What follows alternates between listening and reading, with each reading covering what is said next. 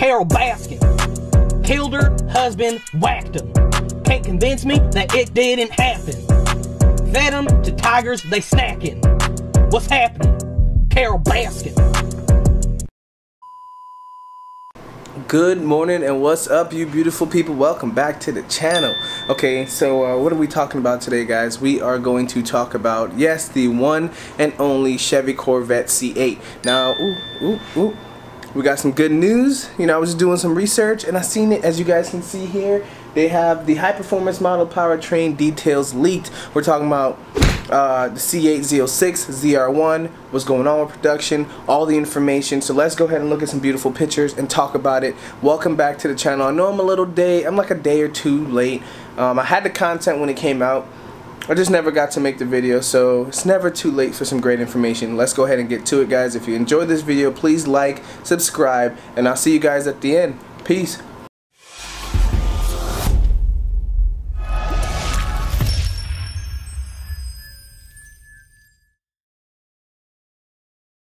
Okay, so let's talk about what we're seeing here. All right, we got the Z06, the ZR1, the hybrid Zora, saying that it will be using a 5.5 liter flat plank. Oh God, I can never get this right.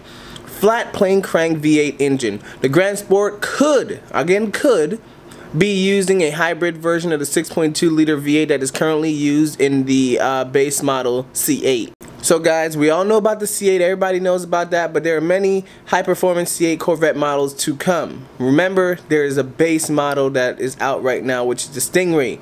You got the Grand Sport, you got the ZR1, you got the Z06, you got the Zora Hybrid. I mean, you have so many things that are coming, so just stay uh, motivated. So the Z06, the ZR1, the Zora Hybrid is using the 5.5 uh, flat plane crank V8 engine. The Grand Sport may have the hybrid. We talked about that. Um, they are have they're saying there's leaked documents found on Hagerty, If I'm pronouncing that right, that's what um, Cars and Drivers is stating, and multiple websites you guys probably been seeing over the last few days.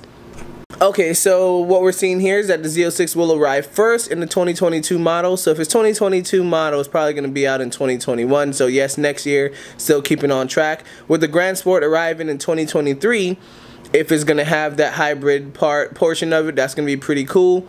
And the ZR1 for the 2024 and the Zora has um, the Zora probably being pushed back to the 2025. So let's go ahead and pull up what we have here for each of the brands, each of the information and talk about it. Already knew that these higher end um, performance models could be making 600 to 1000 horsepower with turbocharged, possibly electric motors and different stuff. Having that nice 5.5, we know the uh, flat plane crank kind of sound is like a Ferrari, that high revving, high RPM kind of thing.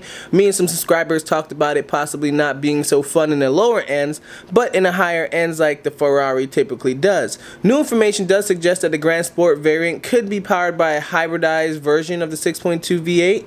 Um, they said the 2020 Corvette Stingray, that platform, they'll just probably add the hybrid to the front, which will bring it from the 495 to about 600 if they decide to add that. And we know you typically when it comes to hybrids, that motor is only going to assist typically with launching and low uh, low power and the low low phases, not really the high end. Um, according to leaked documents obtained by Hagerty again, the leak information also lays out the model year, the powertrain of all the upcoming high performance Corvette variants, adding new details in the documents that they have already uh, known about Chevy plans. So here is what uh, Car Cars and Drivers specifically predicts, and I'll go ahead and throw it up each personally uh, pertaining to what car we're talking about. So let's go ahead and start this off with the 2022 Z06. So here goes this beauty, the 2022 Z06. Again, this is all not official. This is what, um, you know, specs and stuff that they've drawn up. So Cars and Drivers stated that the C806 will use the, they already know that it's going to use a naturally aspirated uh, DOHC 32 valve 5.5 liter V8 with the flat plane crank. Uh, just like we talked about like the Ferrari V8s typically um, that's the biggest competitor that Chevy is actually going for with this model of C8 uh, we know that it's going to rev about 8500 to about 9000 RPM um, Hagerty Leaks does say that it's producing about 650 horsepower 600 pounds of torque Uh, that means, you know, the 5.5 liter would produce about 118 horsepower per liter, 20% more than the Ford Mustang Shelby GT350, 5.2 liter flat, uh, flat plane crank V8, which has an output about 101 horsepower per liter. We expect the C8 Z06 to go on sale in early 2021 as a 2022 model. So you guys can, again, look for that next year.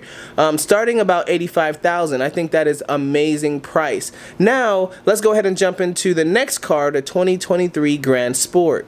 So when it comes to the Grand Sport, guys, I mean, it's gonna just like the C7 Grand Sport. It's gonna have the same kind of body element. Think about the, uh, you know, usually the Grand Sport has the same motor as the base model, just the body of the Z06. Now, possibly for the 2023 Grand Sport, it's gonna have the same body of the Z06 and maybe a hybrid motor. So technically, yes, the same base 6.2 liter V8, not the 5.5, but it's gonna have an additional possible hypothetical hybrid motor to it. Whether that be one or two, we're not sure yet. Whether, whether this hypothesis is correct or just an educated scientific guess, we don't know yet. We're just talking about it, guys. Um, Again, there's multiple sources for you guys to check. I'll put a couple links in the description below. So we know as Chevy tradition, the Grand Sport will arrive after the Z06. This time around, we expect it to be powered by the same naturally aspirated 6.2 liter found in the 2020 base model Stingray, but it could have an electric assist according to the Hagerty leaks again. So Cars and Driver did reach out to Chevy for confirmation. The spokesman uh, said the automotive, the automaker will not engage in speculation of potential future products because a leak is a leak and they're not going to verify that. This uh, leak document is you know, if the leak document is correct, we expect Chevy with the hybrid um, components from the ZR1 variant pairs with the 6.2. The only reason Chevy could offer Grand Sport as a hybrid would be that it could use the existing electron, um, electric powertrain and plug and play. Here it could make up to 600 horsepower, 500 feet-pounds of torque. Um, is well, again what Hagerty is saying the leak site. What do you guys think about that? I want to know in the comments below, especially with all the 2024 ZR1, the 2023 Grand Sport, the 2022 Z06. Which one is sounding amazing? Honestly, this is I could have taken one surprise a week rather than all in one day because, oh man, my taste buds are tingling. I don't even know why, but they are. This is amazing information, great content. I hope you guys enjoyed. If you guys already watched it on another site, hey, you know what, they did beat me to it, but it is what it is. I'm still going to bring that information out to you guys because that's what we are about. About? Really, Josh? Come on. That's what we are about. But let's go ahead and now let's talk about this ZO or wow, Z06 we already spoke about. Let's go ahead and talk about the ZR1. Sorry about that. 2024 ZR1 is up next. Look at the body. Look at the body on it. Beautiful, beautiful car. Um, so we know the ZR1 will use a 5.5 liter um, flat plane crank V8 also, like every other model except the base and the Grand Sport possibly. Um, but it will trade the Z06 uh, red line with a pair of power uh, inflating turbo. So we know it might have turbos. Pretty much all this gibberish is just saying, hey, so we speculate that it will have turbos. Um, I was expecting the ZR1 to have the hybrid and the Z06 to have the turbos. But you know what? They know what they're doing, so I just keep it shut on that. And again, the turbos can be spooled at low and when it comes to the hybrids, typically, again, you use those when it comes to launching and probably like anything over 80 or 60 or 50, whatever, you know, those hybrid motors cut out and then you're just on a regular motor. So that's pretty cool. So it will have a removable rear wing and a front suspension that can automatically adjust ride height with the speed to move the center of pressure to increase downforce, um, optimum handling balance. Twin turbo supercharged or twin turbocharged engine will put about 850 horsepower and 825 feet-pounds of torque and it will still not be the most powerful Corvette. Yes, that is it because our next car is even more crazy. We're talking about what exactly? The 2025 Zora. So the all-new Zora variant will be powered by the 5.5 liter. Um, we know that in conjunction with an electric motor that can add 100 to 150 horsepower. The electric motor will live, um, will be live and will live in the front of the trunk. You know, so expect front space, trunk space, whatever you want to call it, to be complete deleted when it comes to the Zora. I think with the Z06 or the ZR1 to be specific with those turbos, if they do rear mounts, probably they will, of course, um, since it is a mid-engine. I think that trunk in the back is going to be gone. I think the Z06 is going to probably delete that as well because that long boxy Z um, Camaro look on that base model 2020 C8 right now isn't really the way to go. That's just my personal opinion. Guys, let me know how you feel in the description below.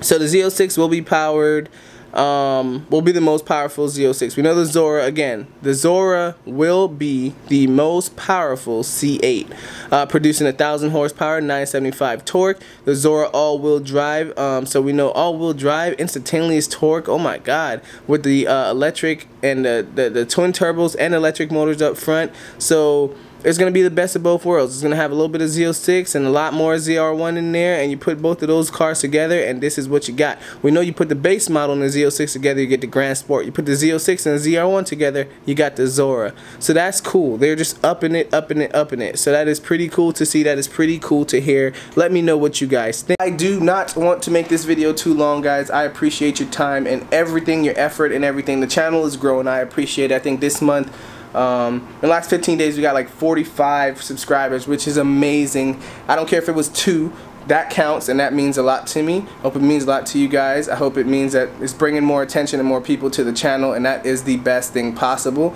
Well, until next time, guys, it's your boy Josh here with Super Sport Enthusiast. GM, Corvette, Chevy, good. Toodles to you. I love it. Again, I'm a huge fan. We know I got the muscle car side, but I like the sportier side. And I'm going to be coming to you guys soon when the Z06 comes. Bet my word, if you can keep it at 85, I'll probably have to push it in 90 for something because, you know, tax and all that stuff. But, hey, I'm working my way up, alright? Just like if you guys watch Tall Guy and Organic and stuff, he's actually shooting for the SVJ, but sometimes you have to humble yourself and probably just get the SV or just get the Aventador. So that's what I'm doing. I'm not going to just jump into a... I had a Camaro, alright, SS, jumped into the uh, ZL1 had a ZL1 for a year. Now I might jump into the Z06. After the Z06, I might jump up to the ZR1. But you got to do baby steps. Financially, all right? You got to do what you got to do. And then also mentally, just make sure you plan because family comes first. This car stuff comes second kind of thing, you know? Uh, God above all. Don't let me forget God above all. But guys, until next time, it's your boy Josh, Super Sport Enthusiast. Man, I love you. I respect you. And I damn sure salute you, baby. Stay safe, stay in the house, stay clean, drink some Germ-X, and uh, take your bleach shots. Peace. Your reflection in my wine glass. That's when I look away. Can't stand and think about losing your fine ass. How the fuck I let you slip away? Life for the party, but I'm dead inside. Kill my vibes, it was genocide. Hard to